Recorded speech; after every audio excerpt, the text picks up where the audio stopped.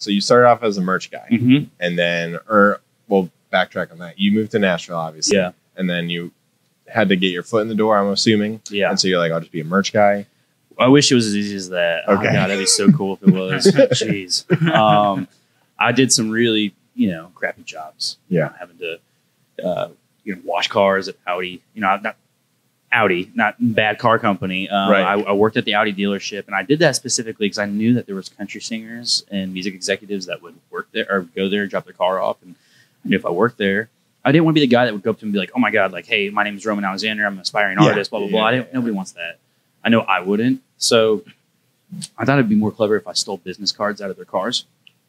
So um, I'm not going to say uh, Dierks Bentley was one of them, but uh, it, it was. Uh, and then there was a, a guy from a record label. Um, I won't name him, but he he had a business card. I took a picture of it, um, and that's what I got really good at taking pictures rather than taking the business card. Yeah. And uh, I made a fake email and emailed him, and he figured out it was me. And so he was like, "How about you just come down and just meet with me?"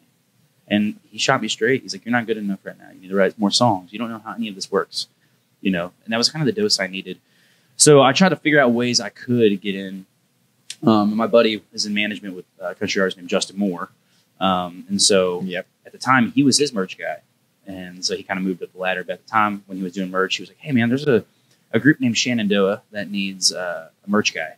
Would you want to come out and be a merch guy?" I'm like, "For Shenandoah, that's one of my favorite '90s country bands. Of course, I would come out and be a merch guy for Shenandoah." Started that way, and then it kind of elevated into, um, you know, a few weeks on the road, turning a few months on the road. I bounced between Jo Dee Messina, Shenandoah, and then um, Easton Corbin. And then I kind of segued into Easton Corbin, and that's where I uh, ended up being with him for two years. Um, and in that time, I was writing songs and trying to find times to go to the studio. And anytime, any chance I could try to make a contact or write, I would. Um, and I figured out that maybe building a social media presence would be the perfect way to do that. So I kind of started that on the side as a side hustle until it kind of became a full time thing where I was able to get a publishing deal out of it and get out of the merch scene. Sunday morning after Saturday.